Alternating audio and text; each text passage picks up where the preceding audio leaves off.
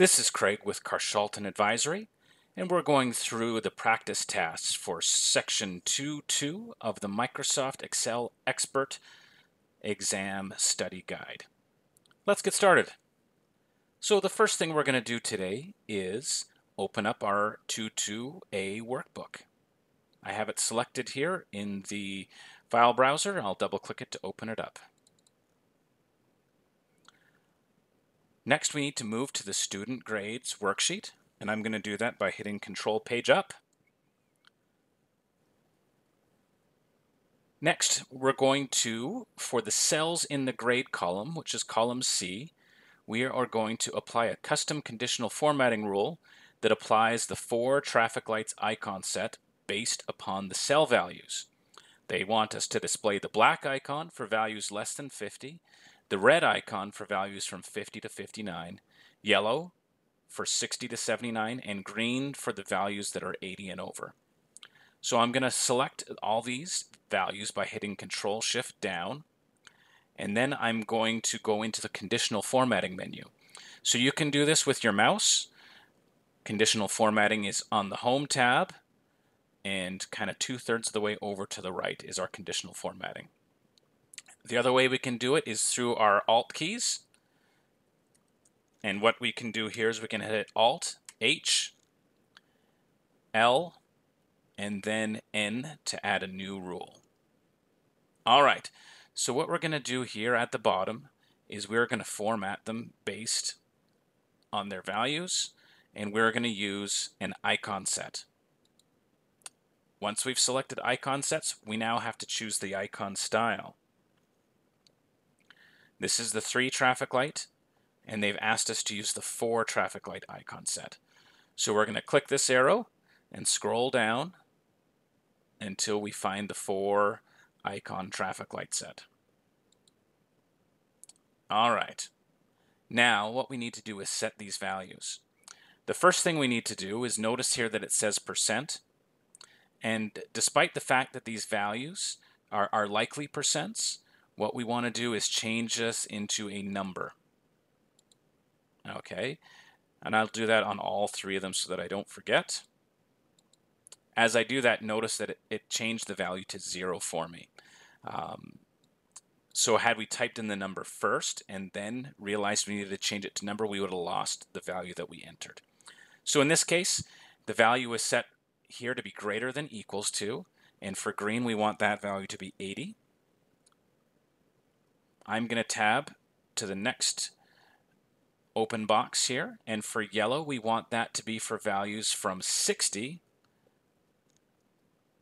And then for red, these are going to be values from 50 and higher. So notice with our greater than an equal sign. So I'm going to click OK. And now when we review our list of student grades, we notice that we have one of those four icons for each of those grade values. Sure enough, that one's less than 50 and it's got black. We have some reds here from 50 to 60, lots of yellows, and a few greens as well. Perfect, let's move on to the next task.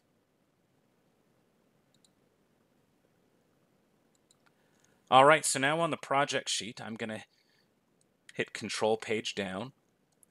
They want us in for the cells in the percent column to create and apply a custom conditional formatting rule that applies the data bar format with the green gradient fill based on the cell values. All right, so I'm going to arrow over to the percent column. I'm going to select all the values in this and I'm going to zoom out just a bit to make that a little bit easier for everyone to see. Now I'm going to go into my conditional formatting and create a new rule. Now, you'll notice that there is a data bar selection here. However, this gradient fill is not the fill that they've asked us for. There are a couple differences there, so we're going to go down instead to new rule and create this from scratch.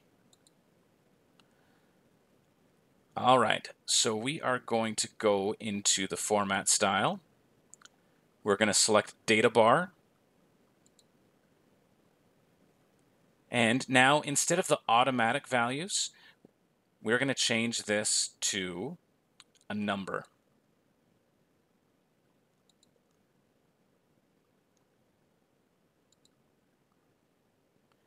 Had we not changed this to a number and it just would have used the high and the low values, it wouldn't have shown us the full perspective.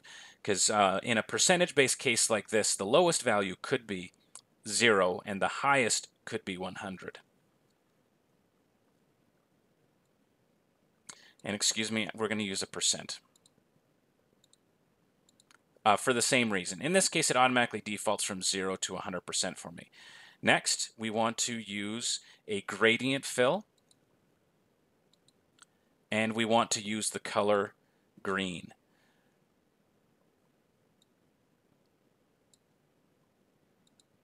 Now, these colors in the selector in this section are based upon the theme that Office is set to.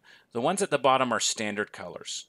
And so on the exam, it will typically ask you to use a one of the standard colors, or if not, it'll specifically say that it wants, in this case, orange accent to lighter 60%. So you should never have to guess.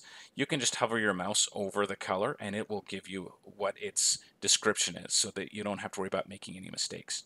So we're going to find the green, leave it at gradient fill, and click OK. Perfect. Now we see gradient fill with all of these based upon the value in the cell from 0 to 100%.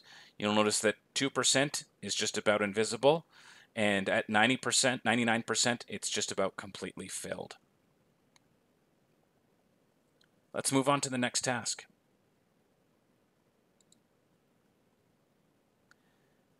Next, we're going to move on to the product inventory worksheet by hitting control page down.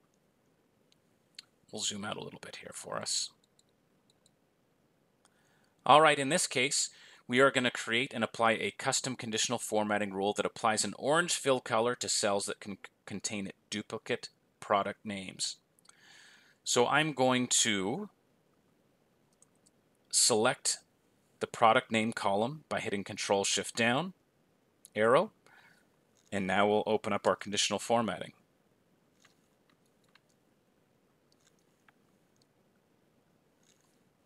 By hitting Alt H L, and N for new rule. All right, in this case, one of the automatic rules here is to format only unique or duplicate values. So we are going to select this, and we are now going to change what the formatting is going to be. So we've confirmed that it's all duplicate. We'll set the formatting, and in this case, we want an orange fill color.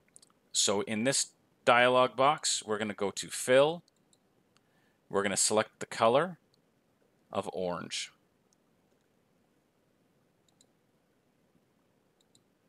Perfect. You'll notice in our list here that all of the values that are duplicates have been highlighted in orange for us. Other than saving, that wraps up all the objectives, all the tasks for this objective, the first section. We'll continue on with the rest of the tasks in the next videos. Thanks for watching.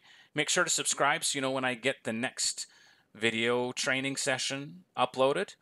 And let me know in the comments section if there's anything you'd like to see different or if you'd like any further explanation on any of these items. Thanks so much for watching.